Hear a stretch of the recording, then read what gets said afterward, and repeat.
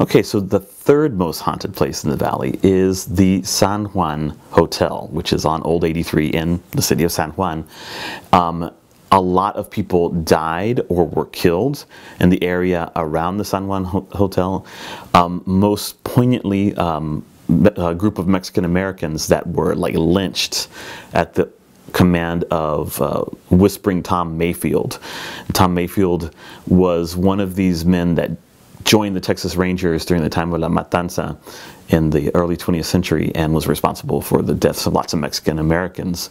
And um, it is said that the spirits of a lot of his victims still haunt that area and inhabit the hotel, and that he himself, who spent his final years as a resident of the hotel before dying in the San Juan Hospital, his soul is trapped there, being tormented for eternity by the spirits of those whose deaths he was responsible for. So if you if you go to that hotel and it opens from time to time and then has to close down again because you know the hauntings are so intense, if you happen to get a chance to go there, um, you know, be on the lookout for for these purported ghosts. It's pretty pretty scary stuff.